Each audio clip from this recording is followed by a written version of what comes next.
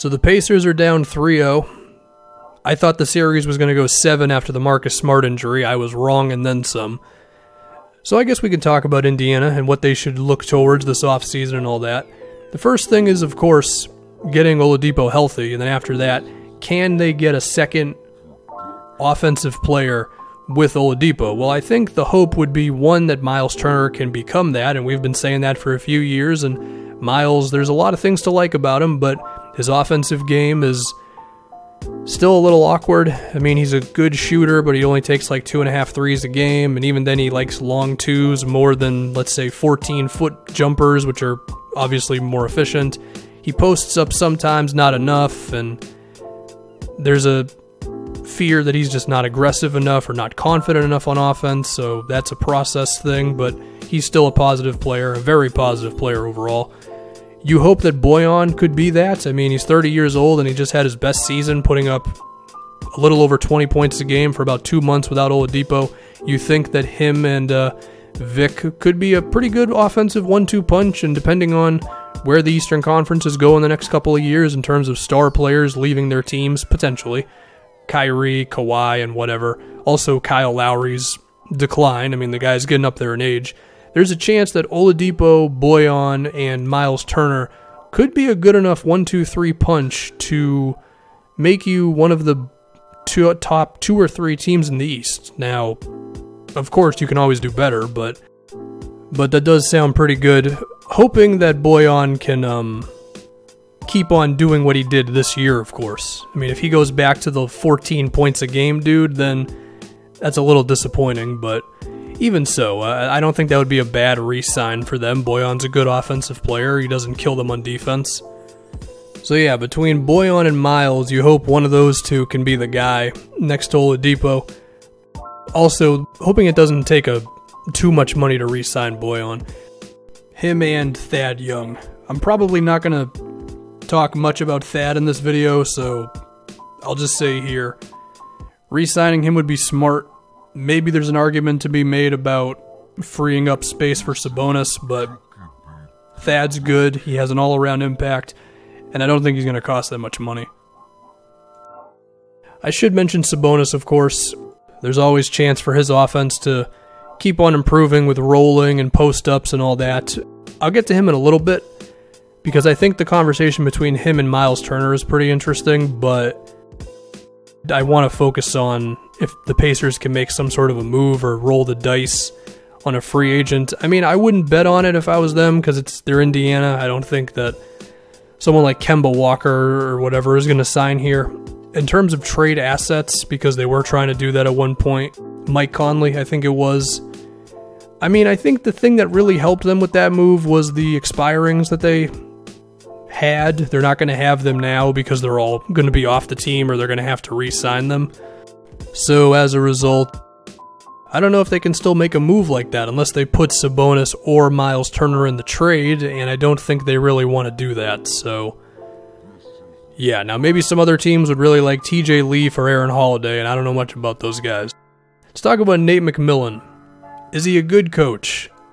I still don't really know. My gut feeling is he's probably a little above average, but is certainly replaceable. I mean, two years ago, I think a lot of it was just Oladipo being really good. And this year, I think it was Bojan carrying them on offense in a way that nobody really expected, and then Myles Turner taking a big leap on defense.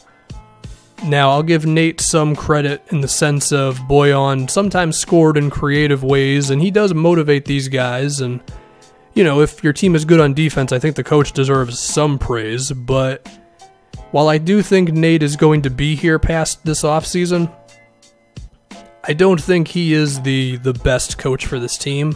Just because I, I think his X's and O's game could be better. As far as who could actually replace him, I don't know. But I just don't think Nate McMillan is some awesome head coach. But he's not bad, so mm, yeah.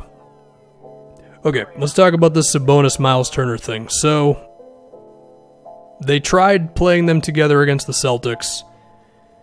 In the 24 minutes that they have played over the three games, they have a net rating of negative 34. It's not good. so, you know, that on top of how it was in the regular season, where I think it was like they were good on defense, but they were bad on offense. I think you you got to find out if those two can play together because you're paying Myles Turner 18 million, and I know the cap's going up and all that, but I mean Oladipo's contract is up after 2021. You have to think that they're going to want to keep him and they're going to pay him more than 21 million a year because that contract is suddenly a hell of a bargain. Assuming that Oladipo is still the same guy as he was last season. And if you if you're going to pay Domantas Sabonis to be the third best player on this team and he can't play with Turner and Oladipo because him and Turner just kills the spacing and all that, then you're kind of wasting your salary.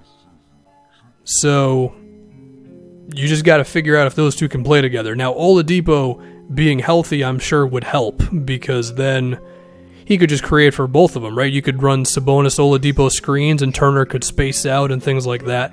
And I think defensively those two have potential. I mean, Myles is of course one of the best rim protectors in the league, and I think Sabonis is athletic enough to defend some of the slower wings on each team. I mean, you certainly can't put him on anybody, but I think you can survive against almost every team with him defending someone kinda on the perimeter. And of course, if you prove that those two just can't be good together, then you might have to trade Sabonis. And it sucks to say because the guy's a good player, but again, if Sabonis is going to get 15 million or something and then Myles Turner's making 18, but then you can't play them together in fourth quarters, that's going to be pretty rough. Now, maybe if Sabonis took a super bargain deal, then you'd be content with him just being the sixth man and not playing with Myles Turner that much, but that's some wishful thinking. Another thing I want to bring up, and this is going to be similar to what I said about Donovan Mitchell uh, yesterday with the Jazz. Are we sure that Oladipo can't play point guard? I mean, he's a good passer, which I think is about all you really need in today's NBA. Just be like a respectable passer and don't be a turnover machine. And looking at the last two seasons, I would say Oladipo's usage rate average is about 28 29%. His assist percentage is around 23%, and his turnover percentage is like 11%. That seems pretty good if you ask me.